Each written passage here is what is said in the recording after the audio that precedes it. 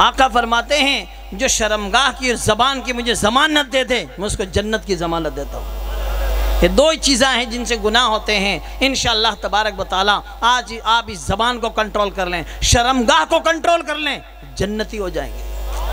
मैं नहीं, ये तो रब के महबूब का फरमान है। है कौल मोहम्मद, कौल खुदा, फरमान न बदला जाएगा। बदलेगा ज़माना लाख, मगर कुरान न बदला जाएगा। आका सल्लल्लाहु अलैहि वसल्लम के प्यारे दीवानों, नबी जब तशरीफ़ लाए तो माशा तबारक बताला आज आका की आमद आमद के बाद तरह तरह के लोग बातें करते हैं। उन्हें पता ही नहीं कि नबी कब पैदा हुए। नबी सल्लल्लाहु अलैहि वसल्लम का नूर कैसे बना? अल्लाह ताला ने अपने नूर से, अभी अपने नबी के नूर को बनाया। देखो अब आप, जैसे वो लोग मिसाल देते जैसे आटे के अंदर से एक इतना आटा गूंदा, इतनी सी रोटी, एक आटे की जो है थोड़े से निकाल के रोटी बना दी तो इतना आटा कम हो गया। मैंने कहा, खौड़े लोगों ने खाओ नहीं सूझे। अरे जब नूर का ज़िक्र हो रहा था, आटे की मिसाल क्यों देते हो? नूर की दो।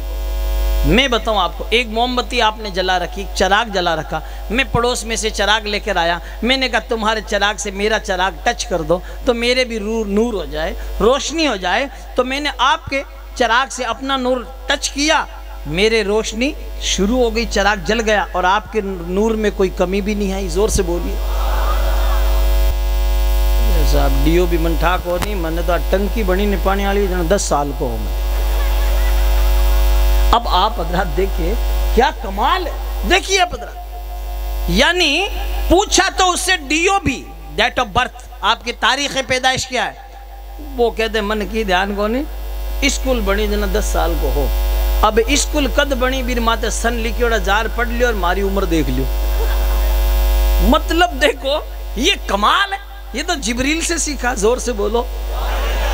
जिबरील सलाम से हमारे आका ने पूछा, जिबरील बता, तेरी उम्र क्या है? कहा, आका, मुझे तो ये तो पता नहीं है कि मेरी उम्र कितनी है। हाल बता एक तारा, एक सितारा, चौथे हिजाब में सत्तर हज़ार बरस के बाद एक मरतबा चमकता था, एक मरतबा चमकता था। उसको मैंने बहत्तर हज़ार मरतबा देखा है।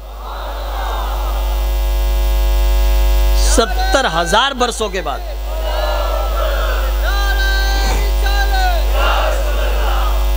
एक तारा सत्तर हज़ार बरसों के बाद एक बार चमकता, उसको मैंने बहत्तर हज़ार मरतबा देखा है। तो आका ने फरमाया, जिबरील सुन ले। व इज़्ज़त यानी व इज़्ज़त रबी अना दालिकल कौकब। मुझे मेरे रब की इज़्ज़त की कसम, मैं ही तो वो तारा हूँ। अब वो तारा कैसे नज़र आता? हमारे आका सल्लल्लाहु अलैहि वसल्लम नूर के आलम में होते और नूर का सजदा फरमाते। हैं जब नबी सजदा फरमाते, सत्तर हज़ार बरसों के बाद आपकी नूर की पेशानी उठती तो जिबरील को तारा नज़र आता। आला हज़रत सरकार फरमाते हैं, सुबह तेबा में हुई, बढ़ता है बाड़ा नूर का, सदका लेने नूर का, आया है तारा नूर का। मेरे अकाली सलाम के प्यारे दीवानों, अब आप हजरात अंदाज़ा लगाओ। अब बाद लोग कहते हैं नबी तो चालीस साल के बाद इनको नबूत मिली।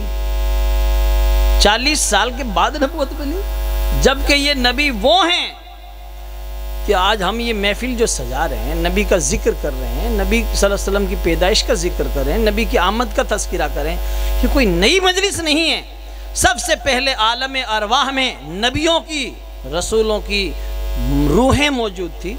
बयान करने वाला रब था, सुनने वाले नबियों की रूहें थी, ज़ोर से बोलिए। पहली मजलिस ये अल्हम्दुलिल्लाह आका की आमद आमद की रब ने सजाई।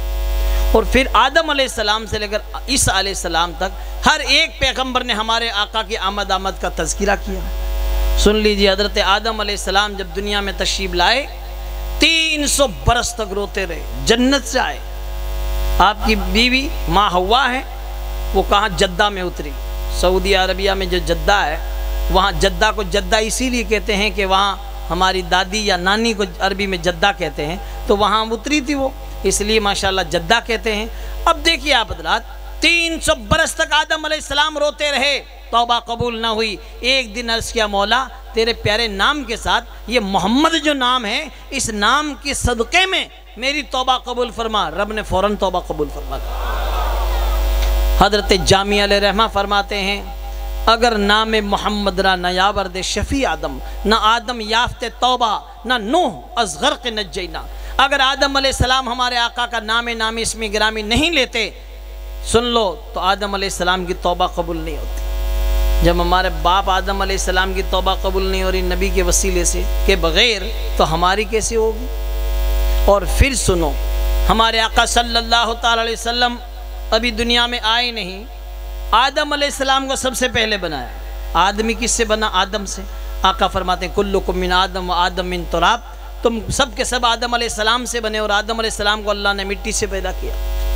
जब मिट्टी से बनाया और अकेले जन्नत में रहते थे, आपका दिल नहीं लग रहा है, अकेले, अकेलापन महसूस कर रहे हैं। एक दिन सुत्ता नींद आई पाचा उठा तो एक लुगई पास में बैठी जिसका नाम हवा है। ज़ोर से बोलिए। आप करीब आकर उसको हाथ लगाना चाह रहे हैं, लेकिन रब ने फरमाया, नहीं, अभी तुम हाथ नहीं लगा सकते। कार्ज किया, मौला मेरे लिए जब तुमने पैदा किया, मैं ही हाथ नहीं लगा सकता का अभी आप हाथ नहीं लगा सकते, पहले निकाह होगा, मेहर अदा करो। अब देखो, आज हम लोग भी कोई नई चीज़ लॉन्च होती है तो हाथ लगा कोई मोबाइल है, कोई चीज़ है, कार है, कोई भी जैसे फूल है, गुलदस्ता है तो हम करीब आकर नई चीज़ को हाथ लगाना चाहते हैं। ये आदम सलाम से ही चला आ रहा है, चूँकि हम उनकी औलाद हैं, आदम सलाम की तो लिहाजा हम ऐसा करते हैं। लेकिन आदम सलाम ने जो है किया, मौला ताला, महर क्या है? निकाह क्या है? जब निकाह हुआ, कब महर अदा करो, कब महर क्या है? कब महर है? मेरे महबूब की बारगाह में दरूदें पढ़ो सुबह अल्लाह तो दरूद शरीफ पढ़ के माशा तबारक बताला माँ हवा हलाल हुई, महर अदा हुई। आज इन लोगों को पता ही नहीं है कि महर क्या है और महर आदम सलाम की क्या हुई। याद रखिए, हमेशा दरूदे पढ़ें, सलामें पढ़ें। नबी मोहतरम सल्लल्लाहु अलैहि वसल्लम के प्यारे दीवानों, गौर से सुने। बहुत सारे लोगों को पता ही नहीं है, सिर्फ़ ईद मिलादुलनबी आएगी खड़े खड़े जो है जुलूस में जाने के बाद कचौरियाँ खा ली, मिर्ची बड़ा खा लिया और आइसक्रीम यहाँ लूट मचे। जैसे कोई पचास साल के भूखे आए। अरे याद रखो, आप सब लोगों को मैं मशवरा देता हूँ, सब बच्चों से, नौजवानों से एक एक थैली छिड़ा लीजो हाँ ठेली ले लो, सीधी बात है। और जो जुलूस में जाए, कचौरी आवे तो ठेली में रख दो। मिर्ची बड़ा ठेली में, आइसक्रीम ठेली में, घर पे आके, माशाल्लाह अपने बहनों के साथ, भाइयों के साथ, अम्मी के साथ बैठ के खाना खाना दस्तरखान पे खुद भी खाइए घर वालों को भी खिलाइए। खड़े खड़े खाना खाना नबी की सुन्नत के ख़िलाफ़ है, इसलिए हम जुलूस मोहम्मदी में चल रहे हैं। लोग आपका वीडियो वायरल कर लेंगे। आपको बताएँगे पूरी दुनिया में इंटरनेशनल चैनल के ज़रिए से तो लिहाजा हमारी ज़िम्मेदारी है, हम इस अंदाज से चलें, पता लगे कि मोहम्मद के ग़ुलाम चल रहे हैं। बोलिए सुबहान अल्लाह। तो हज़रत आदम सलाम से लेकर ईसा सलाम तक हर एक पैगंबर ने इस महफिल का, जो आज हम महफिल में जो है सजा कर इस तरह ज़िक्र कर रहे हैं, उन्होंने भी किया अलग अलग अंदाज में। आदम सलाम ने अपने बेटे शीश सलाम से कहा, ए मेरे बेटे शीश, मैं तो दुनिया से जा रहा हूँ। जब तुमको दुआ करनी हो, आखिरी पैगंबर हज़रत मोहम्मद मुस्तफ़ा सल्ला अलैहि वसल्लम का वसीला लेना फ़ौर दुआ कबूल हो जाएगी। कब्बा आपको कैसे मालूम? कब मैं तीन सौ बरस तक रोता रहा, दुआ कबूल ना हुई, तोबा कबूल ना हुई, उनका नाम लिया तो फ़ौरन तोबा कबूल हो गई का वो कौन है? का वो आखिरी पैगंबर होंगे? ज़ाहिर में तो मेरी औलाद में से होंगे। हकीकत में अल्लाह ने मुझे भी उन्हीं के नूर से पैदा फरमाया। कब आएँगे, कब? सबसे आखिर में नबी तशरीफ़ लाएँगे। सुबह अल्लाह अब देखो उन्होंने तस्किया तस्किला किया। हज़रत सलेमान सलाम के पास ऐसा एक तख्त था जो हवा में उड़ता था।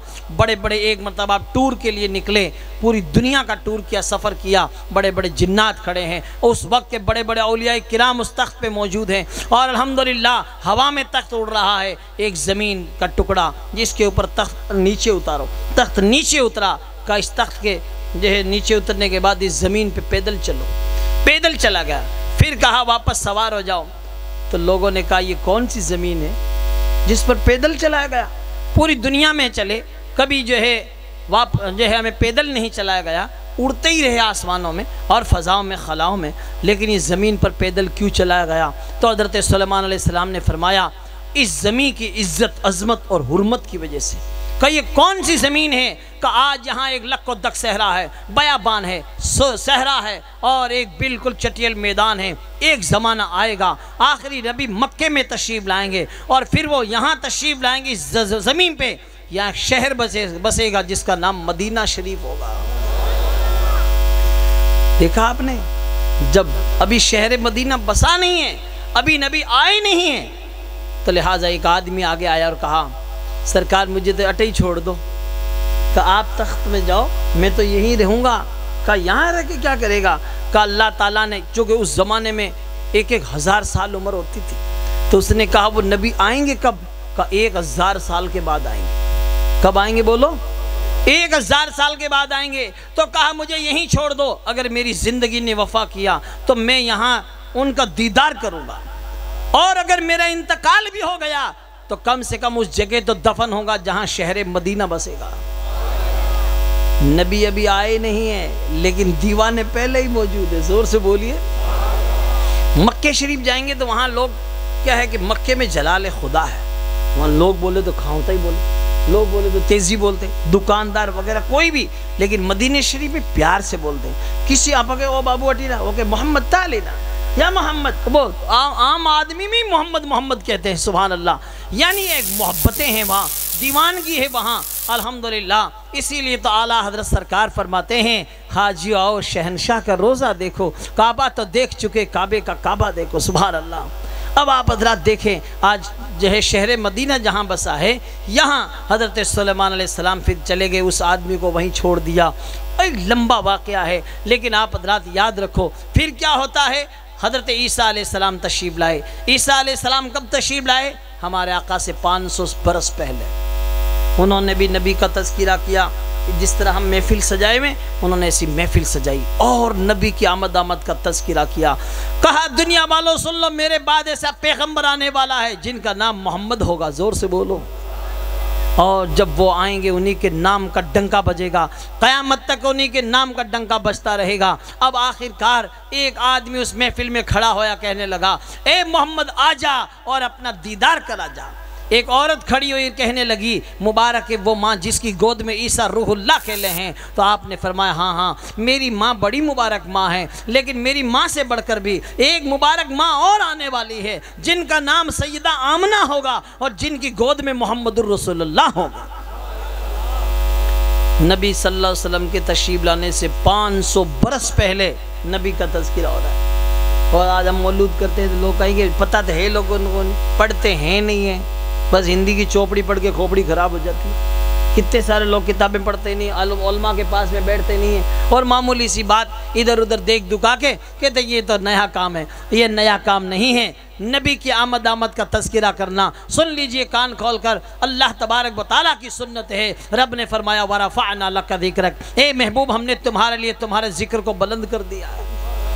कोई तुम्हारे यह ज़िक्र को घटेगा, घटा नहीं सकता। रहेगा यूँ ही उनका चर्चा रहेगा। पड़े खाक हो जाएँ जल जाने वाले। और आला हदत सरकार फरमाते हैं, खाक हो जाएँ अदू जल कर मगर हम तो रज़ा। दम में जब तक दम है ज़िक्र उनका सुनाते जाएँगे। लोग आपको रोकेंगे, लोग आपको वो लालच भी देंगे। अरे मत करो ये काम। आप ऐसा कर लो, ऐसा कर लो। याद रखिए, आला हदत ने फरमाया था कि में रुका कौनी। हशर तक डालेंगे पैदाइश मोला की धूम। मिसल फारस नजद के किले गिराते जाएँगे।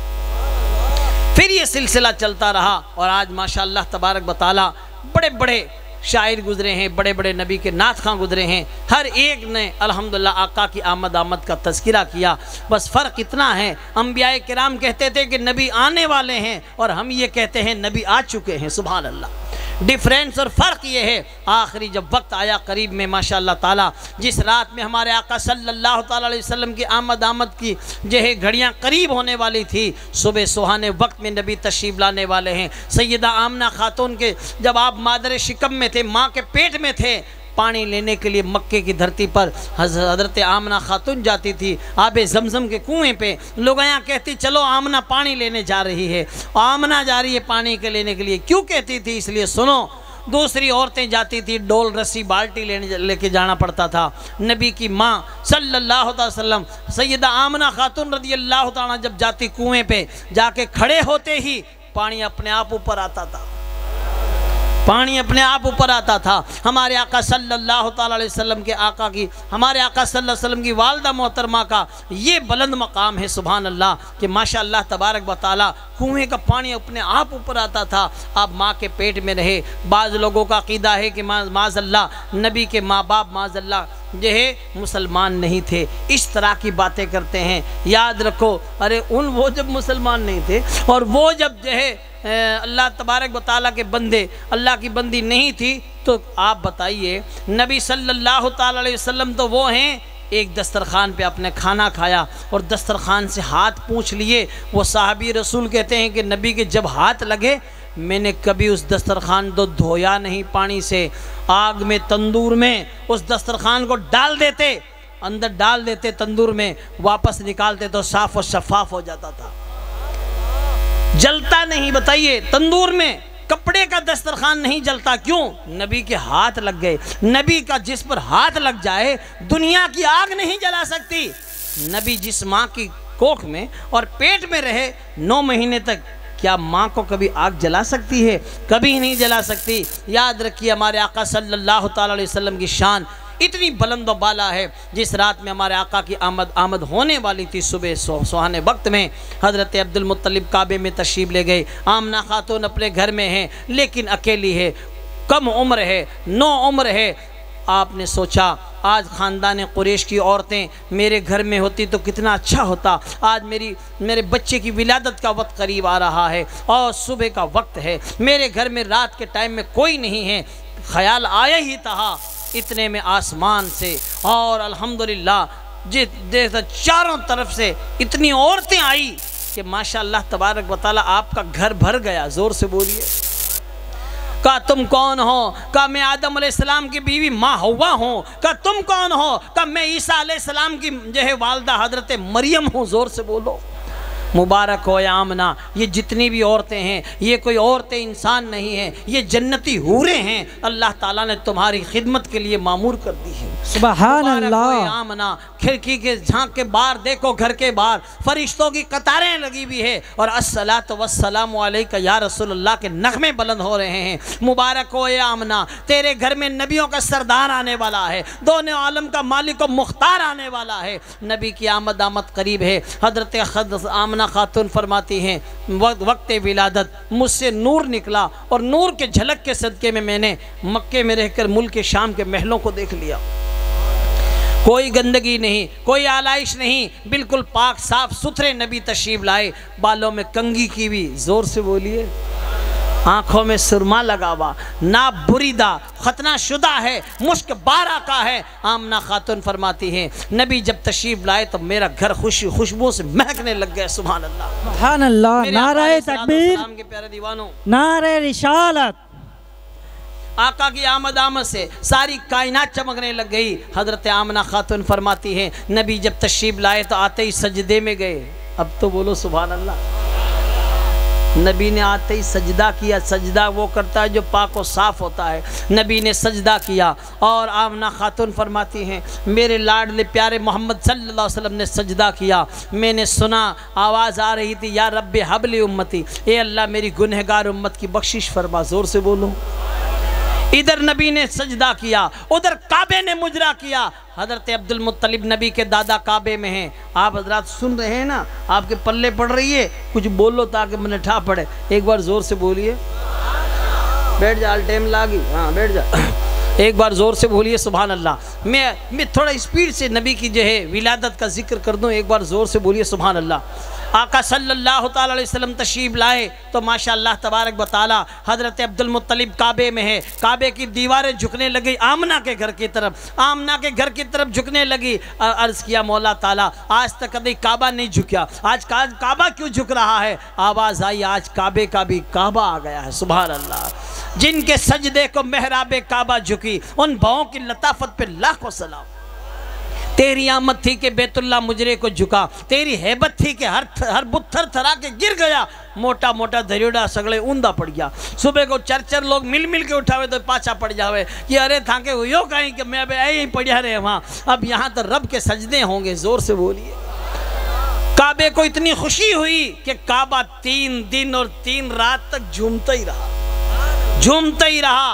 आज हम और आप झूम के सलाम पढ़ते हैं तो लोग फतवे टेकते हैं और कहते हैं, ये सुन्नी लोग खड़े होकर सलाम पढ़ते हैं। अरे, थे सलाम पढ़ते हो तो कहते हैं, खड़िया खड़िया सलाम क्यों पढ़ो? तो थे पढ़िया पढ़िया पढ़ लिया करो। लेकिन पढ़ो तो सही, लेकिन ये पढ़ते नहीं, खाली लड़ते हैं। काबा झूम रहा है, तीन दिन और तीन रात तक झूमता रहा। मक्के वालों ने कुरेश मक्का ने ये नबी का पहला एजाज देखा कि काबा झूम रहा था। ज़ोर से बोलो।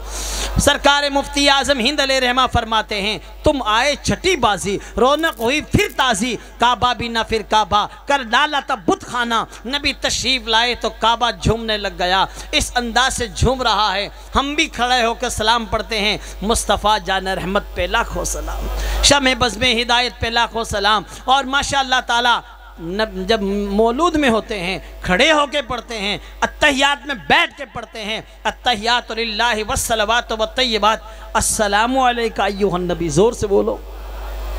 और रात को सोते हैं तो कहते हैं, मैं सो जाऊँ या मुस्तफ़ा। कहते कहते, खोले आँख सल्ले अला। कहते कहते अरे पढ़ो। खुले आँख सल्ले अला कहते कहते कितनी ठंडी नाद है। मैं पूरी पढ़ दूँ तो झगड़ा सूझो। लेकिन मुझे सुलाना नहीं है लेकिन मुझे जगाना है। इसलिए मैं पूरी नहीं पढ़ूँगा। आप, आप पूरा मजमा एक बार जी लगा के बोलिए सुबह अल्लाह। अब देखिए हजरात कि नबी जब तशरीफ़ लाए तो काबा झुकने लगा आमना के घर की तरफ़। देखो, काबा झुका। क्यों झुका? काबे का काबा आ गया, ज़ोर से बोलो। हज़रत अब्दुल मुत्तलिब नबी के दादा हैं, नाम याद करो। आज लोग देखते हैं ना, खाली जो है, वो नबी के नाम का माशाल्लाह ताला झूम लेगा, सब कुछ कर लेगा, इल्म हासिल नहीं करते। नबी का नाम सीखो, उनकी अम्मी का नाम, वालदा मोहतरमा का नाम, आपके वालिद का नाम, दादा का नाम, आप कौन से ख़ानदान से है? ये सब चीज़ें सीखने की है। जब भी ऐसा मौका आए जश्न ईद मिलादुलनबी में माशाल्लाह आओ तो कुछ न कुछ सीख के जाओ और आने वाली अपनी नस्लों को सिखाओ।